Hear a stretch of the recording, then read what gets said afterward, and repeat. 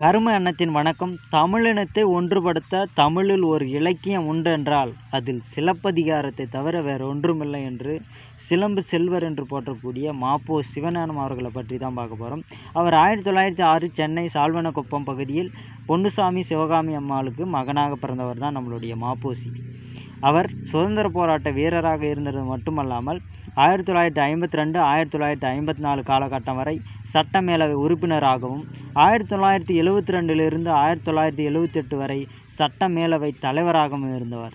அது மட்டுமல்லாமல் சுதந்திர போராட்ட வீரராகவும் இருந்திருக்கிறார். எனது போராட்டம் என்பது இவருடைய தன் வரலாற்று நூல். அது மட்டுமல்லாது ஆயிரத்தி தொள்ளாயிரத்தி அறுபத்தி ஆறாம் ஆண்டு வள்ளலார் கண்ட ஒருமைப்பாடு என்ற நூலுக்காக சாகித்ய அகாடமி விருது வாங்கியவர்.